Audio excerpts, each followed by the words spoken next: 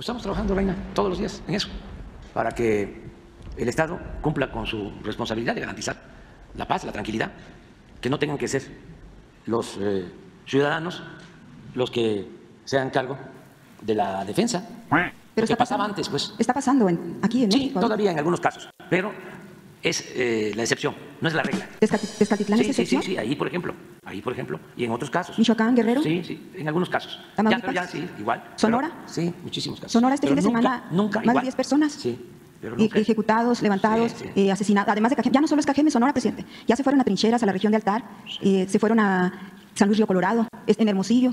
Estamos trabajando todo el. Estado. Nada más que ya no es el tiempo, ¿no? De los autodefensas, de que durante el gobierno de Felipe Calderón se estableció un narcoestado. Pero, pues, es muchísimo tiempo de predominio de una mafia dominando México con todo un aparato de control y de manipulación, en donde participaban muchos medios de información. Entonces, ahí vamos, batallando poco a poco, pero se va avanzando. Eh, yo, entiendo, ¿no? Yo quisiera que este que nadie perdiera la vida, ¿no? O sea, que viviésemos en una sociedad mejor. Pero vamos hacia allá. Ya empezamos. Ya empezaron los cambios. Y tan empezaron los cambios que cuando habían ustedes este, escuchado de que se entregaran tantas becas en México. O cuándo se había visto que se apoyara tanto a los jóvenes.